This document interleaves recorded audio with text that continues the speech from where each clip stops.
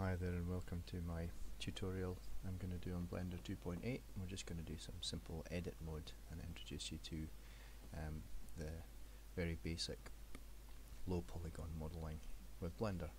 So we're going to start with just the, the default Blender view. So I've got my cube in the middle here. Um, actually I'll switch on my screencast keys so you can see what's going on. So um, should see in the bottom left hand side anything that I'm doing appears. So we're just going to make a really simple um, octopus. Now an octopus as you know has got eight legs so we're going to obviously not going to use this cube in the middle here. Um, we're going to just go straight to delete that cube. So if you hit the delete key or the X key you'll be able to delete the selected object and then we're just going to click on add and then choose mesh and then choose cylinder. So by default you get this default cylinder. Now if you if you move the cylinder um, you lose the option to change how it is created. So if I was to move it right now, um, you'll see that the option to change it has gone. So if you have done that, we just delete it again and start again. We want a cylinder obviously that's got eight sides, so we'll click on add, go mesh and choose cylinder. And then down the bottom left hand side, um, exactly where my screencast keys are actually, um, you'll see some of the options that come up. You click on the little arrow and you'll get some of the options. So I'm going to change this to 8 sides, so if you click on 8 vertices, I'm going to change, I'll leave the radius at 1 and I'll put the depth to 0.5. So you can actually just click on the box and type a value in, um, and we're going to go with that. I'll leave everything else the same. Um, now, we worked a little bit in the last series um, on object mode, uh, and we only went as far as using this uh, layout tab up here and we're going to go a bit further now so we're going to use um, the next tab on which is modeling. So with this object selected if you're happy with the, the layout as it is we'll click on the next tab round and we'll click on that modeling tab and you'll see that the, the viewport changes. You get a lot more tools on the left hand side that have popped up and again hover over any of them you'll get to see what they do. Um, and then we're ready to start modeling. I'm going to do a little explanation before we uh, go into this just so you can understand how it works. But you can see that all the little orange um, dots that make up the model they, these are called the vertices and um, these are basically the corners um, of the uh, of the model. Um, there are edges that go between the vertices and there are faces that are made up of uh, usually four edges but three or more um, edges make up one face. Um, and you need to be able to choose different um, choose either the vertices, the edges or the faces and you can click left click on any one of them and you should see because um, we're in vertex select mode that we can choose a vertex. And we have the same tools that we had before when we're moving objects around so we can still um, move and uh, while rotating a single vertex isn't going to do anything and neither is scaling but you have the same tools available to you for um, anything that you have selected. And if you hold just like with objects if you hold shift and click um, you can select multiple things um, and you can perform operations on anything you have selected. So it's pretty simple. I'm going to just control Z and do those. Alright so um, just check when the screencast keys seem to disappear. Alright um, Right, we're going to start modeling now. So we'll see uh, the, the vertex select um, on the top left hand side next to where it says edit mode. We have vertex select, edge select and face select. And obviously um, each one of them, if you click to the left click, you'll select either the edges, the vertices or the faces. Because we're going to be working with this um, this octopus, what we're going to do is choose the face select mode and click on one of the faces. Now, um, any model that we make, usually we have to create more vertices. So we have to we have to actually make more of this. And what we're going to do is just pull these faces out to make the legs. And we're not going to worry if it's going to be really blocky because it's going to be a low polygon. But the way we do this, if you hover over um, some of these tools, um, we're going to use first of all this extrude tool. Um, this is one of the most common um, tools that you would use. If we click on that tool, you'll see that we get a little a little um, plus comes up, and we can click and drag um, to pull that face out. And that works on any face, so if you have any face selected you can click and drag and pull them out. Um, but we're just going to work on this one right now. And because we want this um, the legs to not just go out straight, what I'm going to do is just choose to rotate them as well. So if you click on the rotate tab, um, the rotate tool over here, you can click and drag and we want it to just rotate around the, the upper axis, the, the Z axis, the up and down. Um, that way we won't get it pointed heading off down the way or up the way as we pull out more extrusions. Um, the shortcut keys are really useful things to remember as well. So um, if you uh, want to use the shortcut key for this one, uh, the extrude is E and the rotate is R. So if you um, tap uh, R, you'll rotate, but we'll rotate relative to the view as you can see. So remember I mentioned that the you can see up here the Z axis is the up and down. So if I tap R and I tap Z, I'm able to rotate relative to the view. Um, one other little tip, if you're too close to the middle when you do that, you get this weird thing where you've got very little control over it. So the best thing to do is just leave your mouse on the 3D view, tap R, and I'm going to tap Z and just rotate a little bit. And then I'm going to use E for the shortcut key. Again, R, Z, and then rotate, and then E again.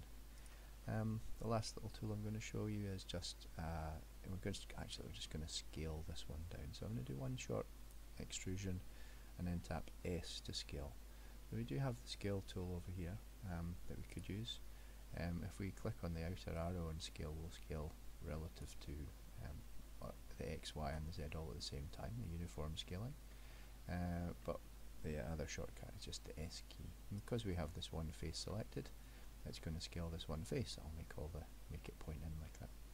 So I'm just going to um, pause. Uh, actually, I'll do one more. Uh, so we'll just go through the shortcuts. Um, so we do it nice and quickly. So we tap E to extrude.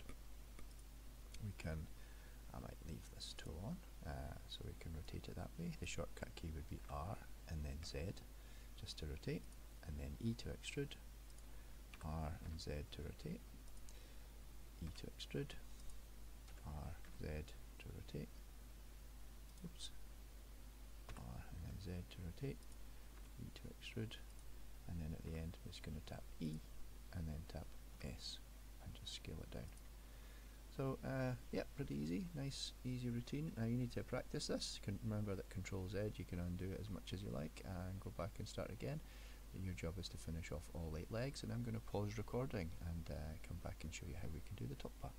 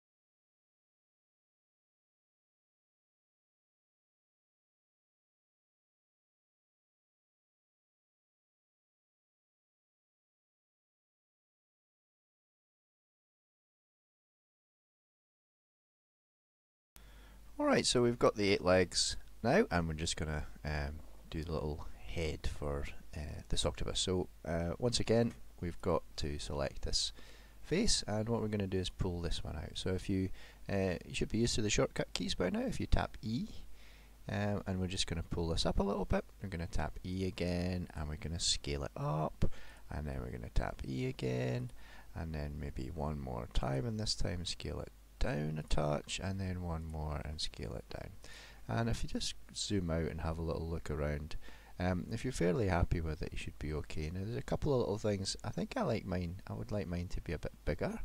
Um, so what I'm going to do is I need to select these top ones.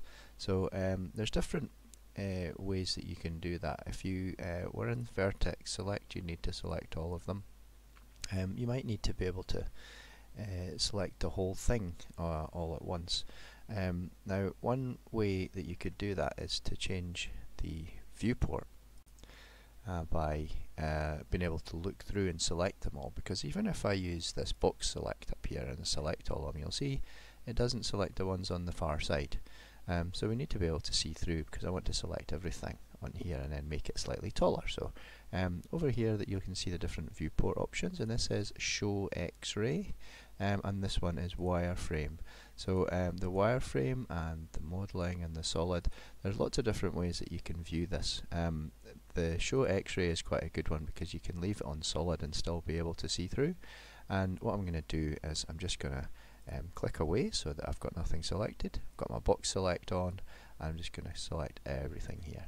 Now I want to scale it just up in this uh, upper way. So I'm going to select the uh, scale tool and drag the blue arrow um, up I'm not going to mind too much if it goes like that because I know I can just drag it up once we're done so that looks a little bit better and um, I'm going to get the x-ray off again so that I can see it as solid. So um, we have our little octopus now. He looks still a bit blocky and that's okay. Um, I press tab by the way there to go back into solid mode so I can see it. He's also is also not very smooth so I'm going to show you one last thing before we finish this video and you can have a little go at um, playing around with the extruding and scaling. Um, the modifiers tab over here, while you're in modeling view um, even in edit mode, the modifiers tab over here um, is uh, the one that's set up by default. Um, you can find it uh, down in, it looks like a spanner, um, and you can add uh, the modifier of subdivision surface, and what that does is it smooths the whole thing out. So you can see that even though you've got um, the mesh on the outside, the inner mesh is a lot smoother and you can change, uh, don't change it too much, but you can actually change this up a little bit as well so you can make it even smoother. Um, so uh, leave it maybe maximum of 2 um, and then we'll go to the uh, back into object mode. So from edit mode choose object mode and you can see that it looks a lot smoother and a lot more like an octopus. And um, to smooth it even further we can set the shading to smooth as well. So if you right click on it you'll see the top option is shade smooth. And all of a sudden the blocky looking um, edit mode octopus starts to look pretty cool. Um, we did materials in the last um, the last video as well but uh, just quickly to make it look a little bit nicer we'll add one material for it. So if you scroll um, go down to the left hand side here you'll see sorry the right hand side you'll see this the context menu for materials. If you click on materials you'll see there's no material set up for this one. Um, there probably is a material in the scene. Um, so if you click there and click on the one material um, I'm going to change its name. It's always good practice to try and change the name of the material so that you can uh, recognize them. And I'm going to call this Octo. And then um, there's a bunch of options for uh, how shiny it is, how metallic it is. Um, the, the, base color here is the one that we're just going to look for. So uh, I'm just going to click on this base color and I'm just going to make him a nice sort of pink color. And uh, we can change the brightness up and down. So I'll make this sort of a kind of a light pink octopus. Um, the you don't see it in this view because this is the modeling view um, uh, that's just like wireframe. This is modeling, and this is the uh, the DevOps view. Uh, look look dev mode, sorry, and this is the rendered, fully rendered. So because um, we're using Eevee, it works at full time, at real time. So this bright pink material, you can see all the shininess coming off of it, um, including shadow. So uh, hopefully you understand a little bit more about modeling now. Um, the layouts are amazingly uh, useful in that uh, you lay out your object with layout and then you start modeling with model and in later tutorials we're going to look at some of these other ones like UV editing, um, sculpting, texture paint shading. Um, Alright, hope you've enjoyed the tutorial and good luck with Blender.